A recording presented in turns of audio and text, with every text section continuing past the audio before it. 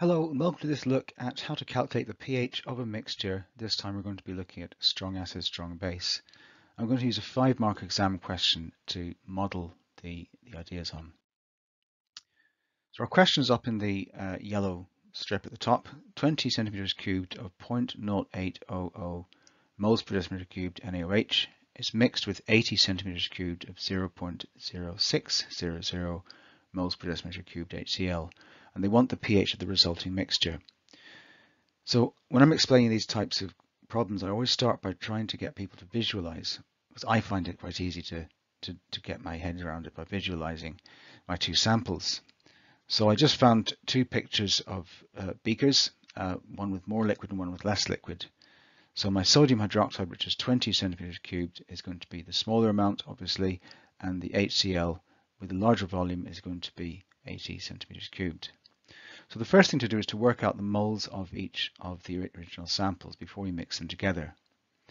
So doing N equals V times C gives you 0.0016 for your sodium hydroxide and 0.0048 for your HCl.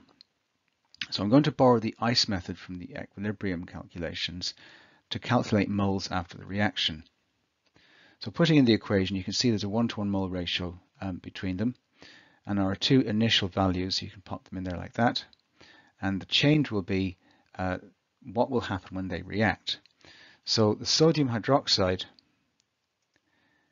will actually lose all of it because there's a larger amount of HCl than the sodium hydroxide to start with. So sodium hydroxide is essentially behaving as the limiting reagent here.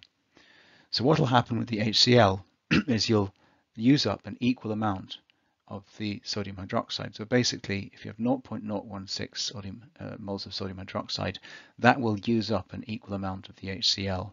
So what's left behind is 0.0032 moles.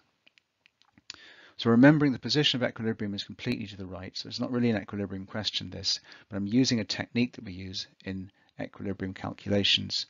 So the position of equilibrium will be completely to the right as it's a strong acid, strong base reaction. The number of moles of NaOH, like we said, is less than the number of moles of HCl, so all the sodium hydroxide is used up. So what we're going to do is use the 0.0032. So this is the remaining moles of HCl after the two liquids have been mixed.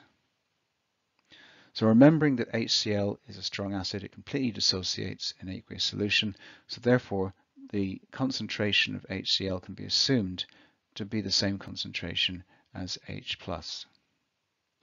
So doing uh, C equals N over V, that gives us 0.0032 moles per decimeter cubed for our H plus after the two liquids have been mixed together. And putting that through the pH calculation gives us 1.49. Remember that the calculator value might be longer than this, so you need to round it to make sure it's two decimal places. This is the convention we use for pH. Okay, hopefully it's been a useful look at this five marker. Until next time, thanks for listening and see you soon.